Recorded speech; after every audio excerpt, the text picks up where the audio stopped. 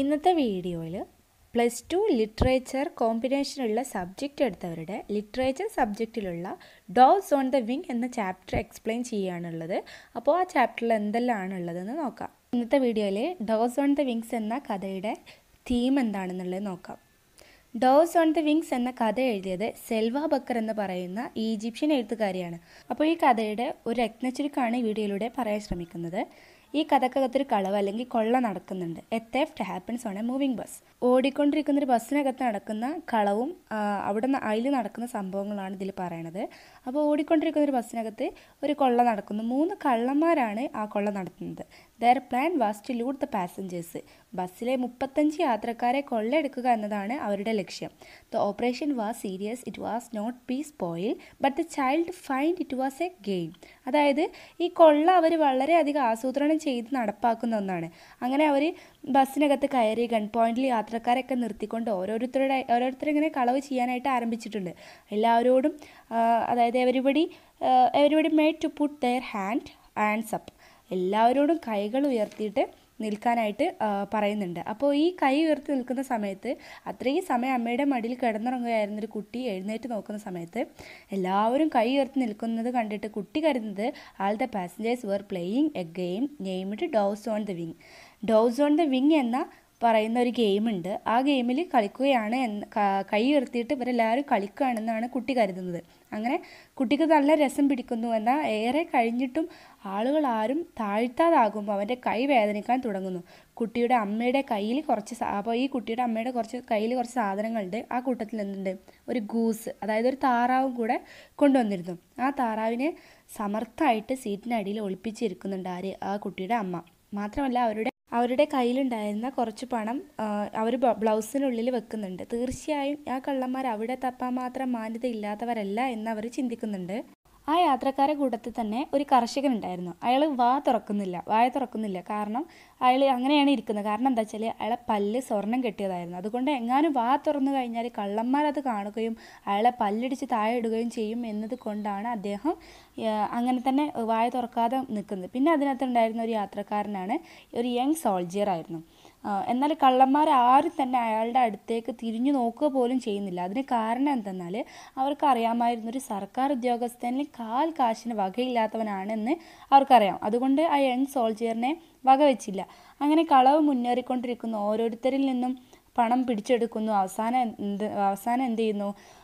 ഇവർ വിജനമായിട്ടുള്ള ഒരു സ്ഥലത്ത് ബസ്സിൽ നിന്ന് ഇറങ്ങി ഒഴിഞ്ഞ പ്രദേശത്ത് ഓടിപ്പോയിട്ട് അവർക്ക് കിട്ടിയതെല്ലാം പെറുക്കി എണ്ണി കൂട്ടുന്ന സമയത്ത് കാര്യമായിട്ടൊന്നും തന്നെ അവർക്ക് കയ്യിൽ കിട്ടിയിട്ടില്ല. ഒന്നും കിട്ടാതെ വരുമ്പോൾ അവരാകെ നിരാശ നിരാശപ്പെടുന്നുണ്ട്. എന്നാൽ ആ കൂട്ടത്തിലൊരു കള്ളം പറയുന്നുണ്ട് ഈ ബസ്സിലെ യാത്രക്കാരെ തങ്ങൾ കൊല്ല കൊള്ളയടിക്കുന്നതിന് മുമ്പ് അതായത് ഈ മൂന്ന് കള്ളന്മാർ കൊള്ളയടിക്കുന്നതിന് മുമ്പ് തന്നെ ഏതെങ്കിലും ഒരു സ്റ്റോപ്പിൽ വെച്ച് മറ്റാരെങ്കിലും ഈ ബസ്സിലെ യാത്രക്കാരെ കൊള്ളയടിച്ചിട്ടുണ്ടാകും എന്നാണ് പിന്നെ അവർ അതുകൊണ്ടാണ് അവരുടെ കയ്യിലൊന്നും ഇല്ലാത്തത് എന്ന് അവർ പറയുന്നു. കാരണം എന്താ വെച്ചാൽ അവർ ഇത്രയും എഫേർട്ട് എടുത്തിട്ട് ഇത്രയും ആസൂത്രണം ചെയ്തിട്ട് ഒരു ബസ് ഇങ്ങനെ അവർ കൊള്ളയടിച്ചിട്ടും അവർക്ക് എന്ത് കിട്ടിയില്ല. അവർ വിചാരിച്ച ആ ഒരു ഓരോ എഫേർട്ടിനനുസരിച്ചുള്ള അനുസരിച്ച് ഒരു ഫലം അവർക്ക് അതിൽ നിന്ന് കിട്ടിയിട്ടില്ല. അപ്പോൾ ഒരു മൂന്നാളതിൽ ഒരാൾ പറയാണ് എന്തോ ചിലപ്പോൾ നമ്മൾ കൊള്ളടിക്കുന്നതിന് മുമ്പ് വേറെ ആരെങ്കിലും അവരെ കൊള്ളടിച്ചിട്ടുണ്ടോ? അതുകൊണ്ടാവാം അവരെ കയ്യിൽ യാത്രക്കാരെ കയ്യിൽ ഇപ്പോൾ ഒന്നും ഇല്ലാത്തതെന്നുള്ള രീതിയിൽ അവർ അങ്ങനെ ആശ്വാസം കണ്ടെത്തുന്നു. ശരിക്കും പറഞ്ഞാൽ ഈ കഥ എന്ന് ശരിക്കും ഈ കഥ എന്ന് പറഞ്ഞാൽ it is clearly shows the poverty faced by the people of Egypt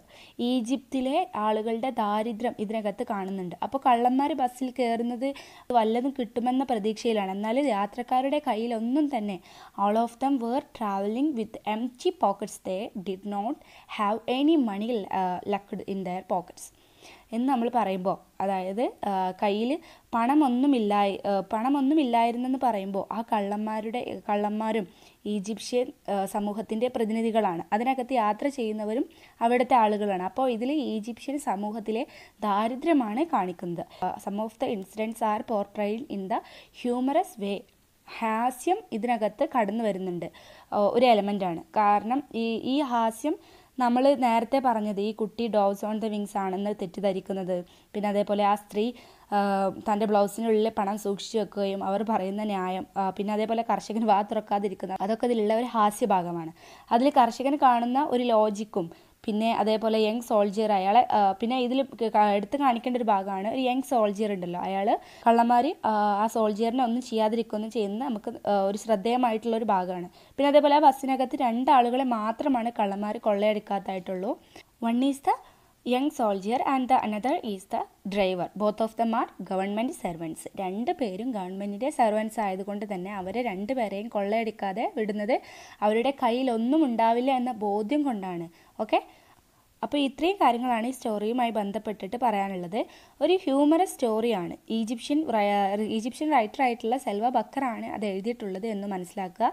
okay humour ഇതിനകത്ത് വരുന്നുണ്ട്. അതേപോലെ സെറ്റയർ വരുന്നുണ്ട്. സെറ്റയർ എന്ന് പറഞ്ഞാൽ അറിയാലോ ഒരു ആക്ഷേപഹാസ്യം ഈ എലമെന്റ്സ് എല്ലാം തന്നെ ഉണ്ടെന്ന് മനസ്സിലാക്കണം ഓക്കെ അപ്പോൾ ഈ കഥയിൽ അടങ്ങിയിട്ടുള്ള പ്രധാന എലമെന്റ്സ് ഒക്കെ ഞാൻ പറഞ്ഞിട്ടുണ്ട്. അപ്പോൾ മെയിനായിട്ട് ഇതിൽ വരുന്നത് ഈജിപ്ഷ്യൻ സമൂഹം ഫേസ് ചെയ്യുന്ന അവർ ഫേസ് ചെയ്യുന്ന പോവർട്ടിയാണ് ഇതിൽ മെയിനായിട്ട് വരുന്നത്. പിന്നെ ഒരു ഇംഗ്ലീഷിലുള്ള സമ്മറി ഞാൻ ഇതിലിട്ടിട്ടുണ്ട് അത് അതും കൂടെ വായിക്കുമ്പോൾ ഒന്നുകൂടെ നിങ്ങൾക്ക് ക്ലിയർ ആവും ഓക്കെ